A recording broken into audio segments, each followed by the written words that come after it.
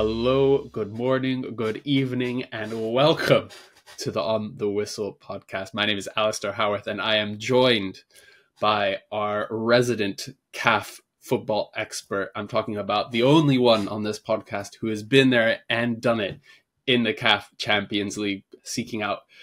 You know, maybe we'll do another podcast reminiscing about your glory days with Manning Rangers and your continental ventures, Courtney. But Courtney Freese, how are you doing, brother? Alasdair, I'm on top of it. I'm dangerously good, my man. That's what I love to hear, Courtney. That's what I love to hear. None of this. Uh, we're struggling. It's tight. It's difficult. I, I want that positivity on the on this podcast, and we need that positivity, Courtney, because we're talking about some football that has perhaps been less positive. I'm of course talking about the first leg of the CAF Champions League final, which ended uh, as the most predictable result as we could have ever predicted, which is nil nil. Courtney, I'm going to throw a stat at you. Coming Go into this final, we we had two African giants. Obviously, you know we, we covered the semifinals about how Al Ahly beat TP Mazembe, how Mamelodi Sundowns crashed out again at home to a North Africans, which set up this brilliant final between Esperance and, and Al Ahly. And coming into the final, Al Ahly had, or Esperance had played ten matches, nine clean sheets, had only conceded one game in the group stage and a 3 1 loss to Al Hilal. Al Ahly, 10 games, 9 clean sheets, had only conceded one goal in a 1 1 draw with Yanga in the group stage. So tell me, was there ever, ever going to be a result that wasn't nil nil in this first leg of the final? Well, well, the results say that, but I'll say to you. That's not what the play on the day said. Um, the play on the day went exactly how I thought it would be. Uh, it would be tactical, aerially dominant. Uh, Esperance trying to get the edge uh, in attack. Um, in let's and let's go back and also give credit to the support. There were so much more supporters in the stadium. Finally, we have uh, a support that uh, symbolizes the the the uh, occasion. So um, I, I thought the game would be exactly the way it was. I think um, Al Ahly were lucky to get out of there with a nil, uh, nil, nil. Really, uh, Esperance were the team on the front foot, very forceful. Um, I cannot see it staying like that in the next leg. It, it won't be. It won't. There will. Well, we all know there has to be a result, but I'll say this to you. I don't know if Esperance, uh, Al Ahly will be able to break down Esperance. I don't think they will be able to. Yeah, Courtney, I think that's that. That is, I mean, you you, you are very confident with Esperance coming into this, and, and I all, think you're, bang, you're absolutely. You're yeah, and, and, I think you're bang on in terms of they're such a physical, such a dominant side. I mean, you think of that back four, you know, experienced, experienced back four with players like Meriah, Tougai, Ben Hamida, you know, like, and, and then we've talked about Amanallah Memmiche, who's been brilliant in goal. I think he's only 20, one of the most exciting goalkeepers on the continent. Uh, but I think a lot of people, might, you know, perhaps myself included, would have thought that Al Ahly would be a bit more dominant. You know, I think back to last season when they played Esperance in the semi-final and they thrashed them 3-0 in, in Tunis. But yeah, like you say, it, it really was an Esperance dominated game and, and you saw the kind of quality they have, especially getting it out wide. And, and you know, I think of that uh, Rodrigues chance, the Brazilian center forward, when they had that cross in the first half and they had her glance just wide. Um, whereas on the other hand, Al Ahly really struggled to create anything of note. I think you know the closest they came were a few uh, El Shahat shots from outside the box. You know there there didn't seem to be much much creativity. Um, but and I also really want to touch on that point about about the fans. I mean, Courtney, what a what a joy it is to see African football stadiums well, packed. Yes, the occasion deserves it. The occasion deserves it. This is this is not a league fixture this is the Champions League final, and uh, this is what you want to see. You want to have this type of appetite for this type of game. Um, as I said, it was a nil-nil, but it was an exciting nil-nil from from an Esperance uh, point of view. Al Ahly were. Uh, they created a few chances, but nothing I feel that would really have troubled uh, Esperance. Um, Esperance just looked physically dominant, ready for this game, uh, did most of the hard running. Uh, they just looked more confident. If they in any way pitch up like that into the next leg, I can't see them not getting a goal. I've been backing this team since early on in the tournament when I've just looked at their physical prowess and how they've been um, steamrolling teams moving forward. I knew Sundowns wouldn't be able to deal with them because not because Sundowns aren't good enough. Esperance just got to Sundowns at the wrong period in their season. Yeah, and, For me, Sundowns were cooked. They, they they weren't really They weren't at the right temperature to play Esperance. Yeah, and, and we, we've kind of gone over many times the kind of Sundowns deficiencies when it comes to this stage in the Yes, competition, yes, particularly against teams like Esperance. You know, against teams, you Sundowns, I think for a while have actually had it over Al Ahly. Sundowns are, you know, have kind of had Al Ahly's number. Yes, Uh, in, in certain, you know, Al Ahly, I think with this game, uh, if, if I'm not wrong, I, I kind of went back and counted after hearing Maher Mezahi quote this uh, quote this stat, but this is their twen- this was their 21st game unbeaten in the CAF Champions League, which is ludicrous, and I think is a record breaking statistic. No team's gone it's an unbeaten so unbelievable many record games. to have. Yeah, I- I- anyway, it really football. is. whether you play Sunday league football, whether you play over 45s, uh, Saturday football, whatever. If you got a lead, you you got a run or a streak like that, that's an unbelievable streak. You know, you got to respect it, especially now it's at the top end of the game. Precisely, and I- and I think particularly in an African context, because you think about some of the away games Al Ahly have had in that run. You know, they've they've gone they've gone down to Pretoria, they've gone to Tunis, they've gone to Casablanca twice. I think they you know beat, beaten uh, Raja, got a draw with Wydad away from home. So you know this isn't this isn't a league unbeaten run. No offense to Mamelodi Sundowns, we're now one game away from having an invisible season, which is an incredible achievement in itself. But these are huge, huge games. Um, and and and another stat I want to throw at you because you are very confident in Esperance. I think you know we'll get onto predictions coming into the final, but uh, I I think Al Ahly's home form in particular speaks for itself. You know, again, I was going back through the numbers, and I think Al Ahly have won their last fifteen uh, home mat- knockout matches in the CAF Champions League, which is absurd. And they and to go back to uh, an Al Ahly loss in Egypt at home in the CAF Champions League, you have to go back to all the way to 2007 when Etoile du uh, Sahel, uh, uh, Esperance's rivals in, in Tunisia, went to Al Ahly and beat them. I mean, that is ludicrous, Courtney. That is that is 17 years of Uh, well, knockout let me say football. this. Well, let me say this to you, Alasdair. Okay, if I'm the manager of the team, I've got an analyst like you somewhere in the team, somewhere. You're gonna bring me that statistic. That's gonna be extra fuel for us to win this game, gentlemen. Have a look at this. This is what is facing us. We're not just in the second leg, final game of the Champions League final. We also have the opportunity to break a record and become heroes like no other team has become in 17 years. Now let's take our chisels out and chisel our name into into the history books here by not just winning this tournament, but also by breaking this record. So listen, you, you don't need to say more than that because the, the players could play today, they could play tomorrow, they could play next week. The players are ready to play. It's about saying the right thing to just give them that impetus to go out there and absolutely steamroller athlete. Uh, I wouldn't say they're the best team at this point in time, but I would say they're the wrong team to face Al Ahly. They're just the wrong team. Yeah, and I think uh, yeah, like you say, Esperance have shown themselves to be a really good knockout team. Um, but I, I also want to th- throw out, you know, we we're talking about the, the kind of significance of home games and of fans. And look, a lot of us, you know, maybe we'll s- we'd include ourselves in this, are, are kind of bored of of Al Ahly's dominance. You know, they've been cleaning up titles uh, in the in the CAF Champions League since really since Pitso Mosimane took over. You know, they've won I think three of the last four, and the fourth one that they didn't win was obviously that very controversial one when they lost uh, against Wydad when it was at a neutral venue in Casablanca.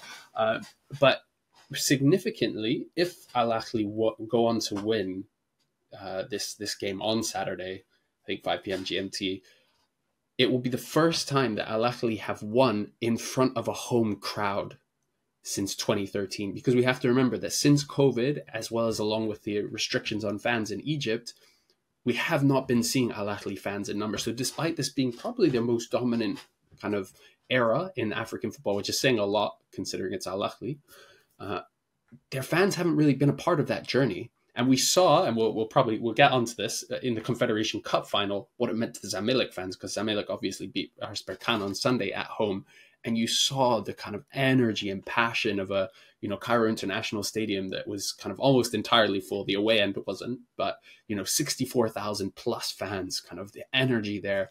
And you know you're talking about how brilliant it was in Esperance. I implore you who are watching and listening this, go back and look at some of the images as well, some of the choreography, some pro Palestinian choreographies from the Esperance fans. It's incredible.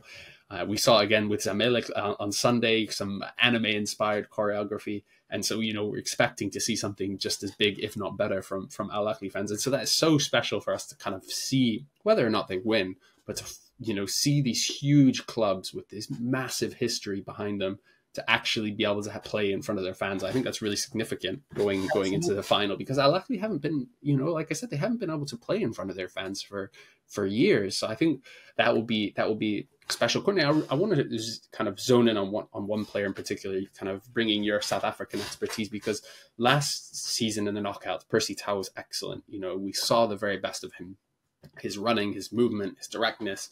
This season, he's been pretty good in the league. He really struggled at the AFCON, obviously missing a penalty, missed some really big chances in a very successful South African side that obviously went to the semi-finals.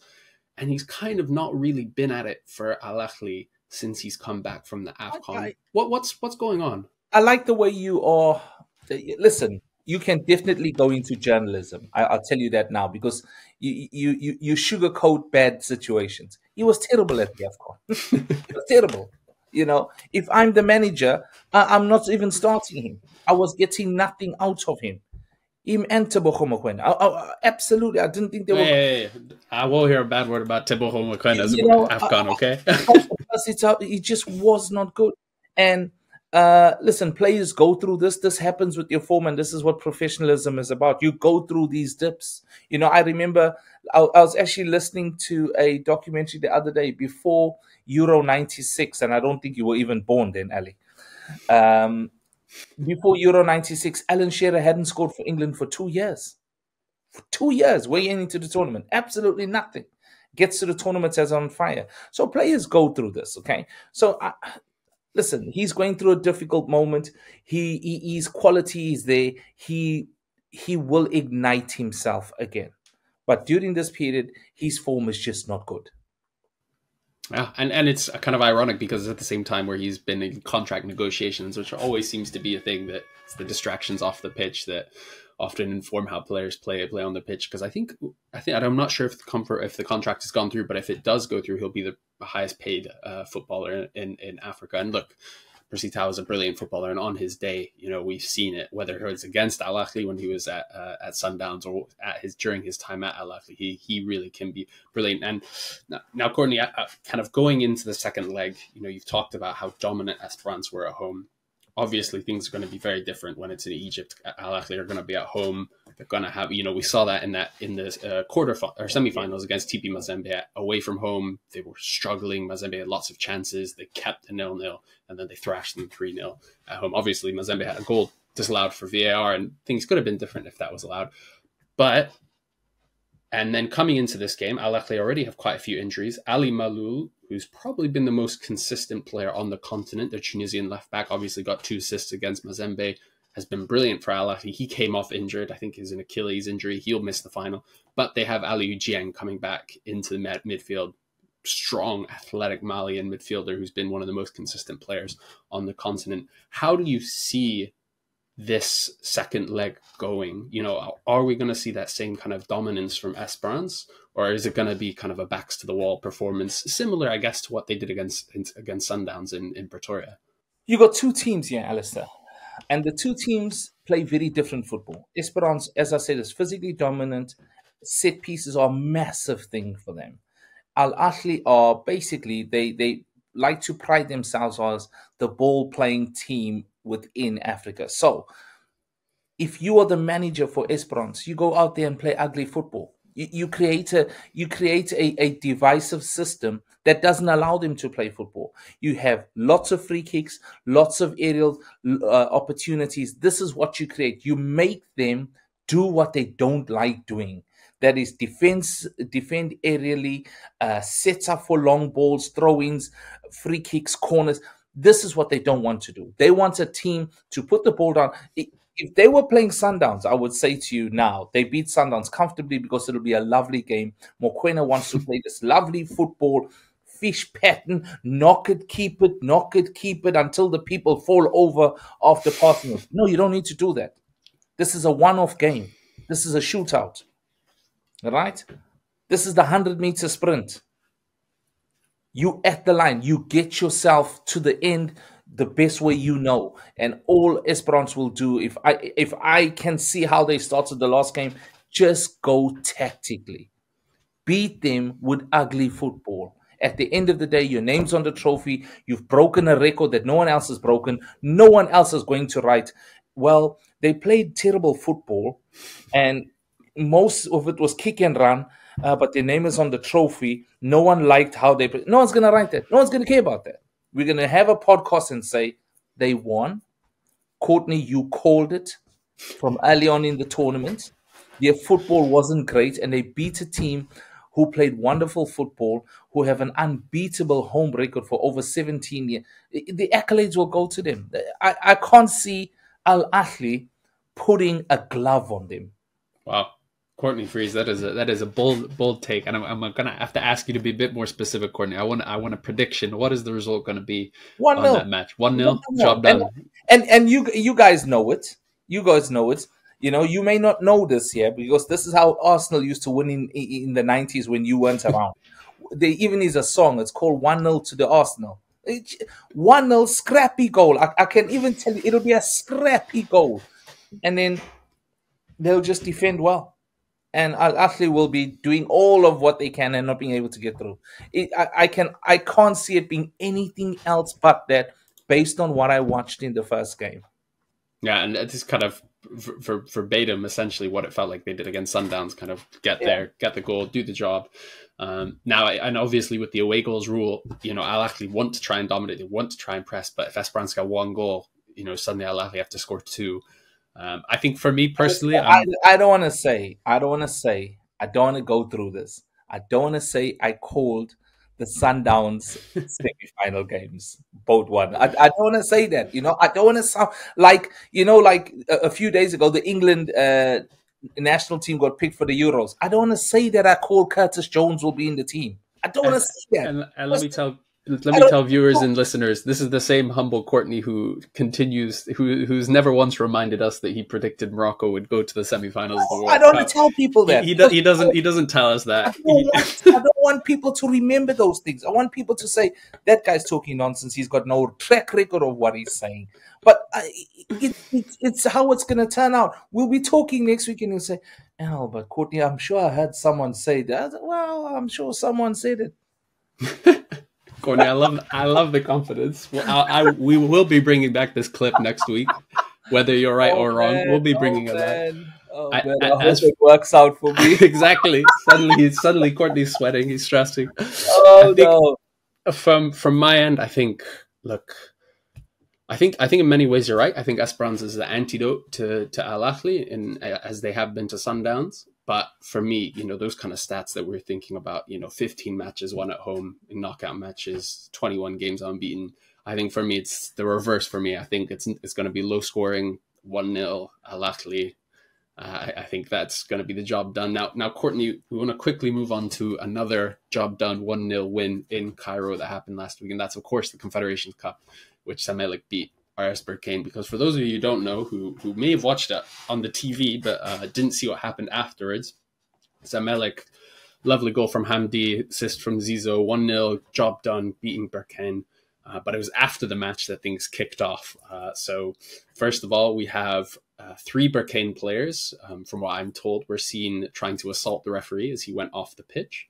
Uh, but we also had uh, absolute chaos and bedlam. Obviously, sixty plus thousand fans in the stadium. Uh, some fans found their way onto the pitch via the zone area, VIP area, in which the Zamalek uh, families were staying. So obviously, there's a kind of big breach in security. Uh, as part of that, the the um, security team were trying to clear up those fans, and it's caught on camera uh, an usher bringing out the trophy, and on camera being knocked over by the security who push who are trying to push out two Zamalek fans.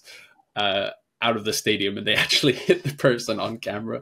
Uh, obviously, it's then delayed by 30 or 45 minutes. The actual trophy presentation, Dr. Patrice Motsepe, the president of CAF, uh, and not the owner of Mamelodi Sundowns, um, came down to present the trophy, but obviously did it almost an hour late because of the delays. Meanwhile, some Zamalek board members got their hands on the trophy and started celebrating.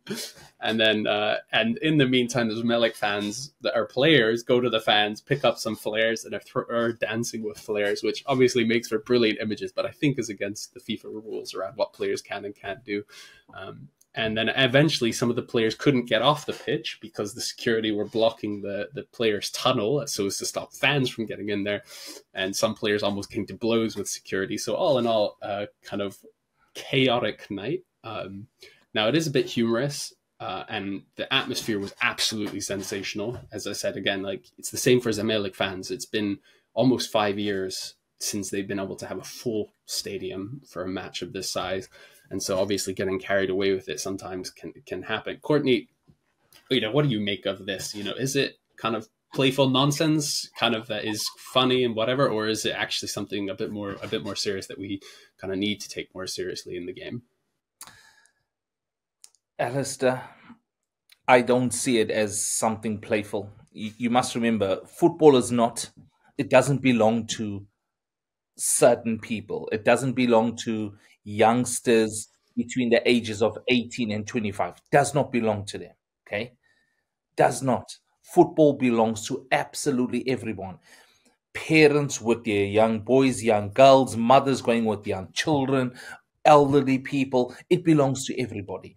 But now, when you start getting this sort of narrative where you get behavior like this in, in the grounds, I'm the first one to say on a, on a chat like this don't go. Mm. Don't go. Stay at home, be safe, be close to toilets. Number two, where there's not anything terrible going on in the stadium as well, where you don't feel intimidated and you don't feel unwelcome. Don't go. Stay at home. Watch the game on TV. This is why people live stream games and all this illegal internet streams happen because people don't want to be part of that. They don't want to be part. They want to watch the games. They want to go to uh, watch their supporters, but they don't want to see that level of hooliganism. It, it's it's it's not necessary. I was watching a situation the other day on TV, the Euros uh, final, um, where England versus Croatia, and and uh, this man went with his daughter to the ground, and the intimidation and the fear and then you look at these yobs standing on buses, drinking from six o'clock in the morning, taking all types of drugs. Listen, just stay at home. Stay at home. Let there be 12 people in the stadium, six dogs and six men. Let those people rather be there. Nobody deserves that. Nobody deserves that. And if it can't be made safe for people to go and enjoy, don't go. Uh, stay at home. Because imagine you decided, Alasdair, that listen, you're going to take your lovely lady, you're going to go and sit in the crowd. Now, you are a football purist, okay? Your aim is to go there, not just watch the game, but watch the interaction between supporters, what supporters feel the atmosphere, drink the whole cocktail that's being served on a platter. You wouldn't like the taste of that. Well, and I can confirm that because my missus refuses to go to football games with me anymore after she got some friendly abuse from uh, some Charlton fans on a train from Manchester when they noticed that we were wearing our Blackburn Rovers kits. You know, um.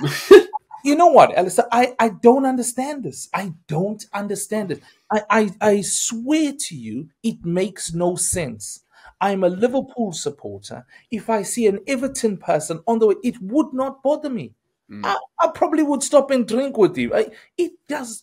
I don't understand the the the aggressive patriotism to your club. It makes no sense. If you one of those idiots out there that's aggressively patriotic to your team, please send us something. Tell us what is going on in your head so we can send you the necessary medica- medication you need so you get help here. Because you shouldn't be providing any sort of intimidation to anyone that's coming to the game just to enjoy it. That's not the point of going to a stadium. I hate the fact that that that element exists in the stadiums. So forget the racism, forget the nasty comments. It's just the aggressiveness mm. towards each other.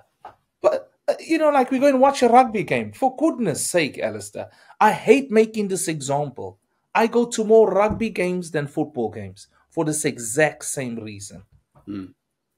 And I think it's I, I, I think I take a slightly less aggressive stance, but I totally understand where you're coming from. Whereas, you know, I love the aggression of of a fan in terms of the like intimidation on a pitch. I, I love that. You know, I think particularly I think of you know the women's Afcon actually the final where it's just like you can't even hear yourself because of the whistles and the and you want and, that. Yeah, I, I want I want that, but that's the problem is when people like me want is there's a very fine line between there in the women's Afcon final where it's safe you know people the families are there but it's that aggressive and kind of intimidating atmosphere and there's a thin line between that and then what things like you see it in Wembley when you have you know guys in their early 20s or 30s kind of taking cocaine and doing doing crazy things. Courtney, we're here to talk about the the CAF Champions League final and, and uh, kind of analyze what's happening on the pitch, and we're we're out here talking Listen, about about medi- medicating football fans. But this, uh, this I love it. Forms part of the picture because you must remember in this beautiful game, the advert is to provide safe and enjoyable uh, opportunities for people to go out there and and uh, and and appreciate the, the, the dynasty of football. This is what this is the advert. Go out there and enjoy it. Be there with your family. Now mm. I'm here with my 12 year old daughter, and this is going on. No, I don't want to be there. Mm.